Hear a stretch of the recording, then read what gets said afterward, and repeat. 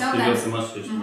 Ja jaunieši vēlēsies eh, izveidot savu sarakstu uz No. šīm vēlēšanām, vai jūs būtu gatavs iet šim sarakstam kā pirmais, kā vadītājs? Es domāju, ka nē. Nē, varbūt argumentēt, kāpēc. Dotajā brīdī neredzu, neredzu sevi vēlmi iet un startēt vispār. Kāpēc vēl no tā četru gadu pastrādājot jaunam cilvēkam vēl netika nogalināta? Nē, Jūs taču vēlme teicāt, galvenais vēlme būt. Jums Galvenais, lai viņiem ir vēlme. Mm, Bet kā, kas ar jūsu vēlmi notika četru gadu laikā? Gribēs tomēr mainīt to darbības sfēru. Darbības sfēru mainīt. Tomēr jauniešiem var atbildēt, ka amatpersonas darbs nav nemaz tik vienkārši un viegls.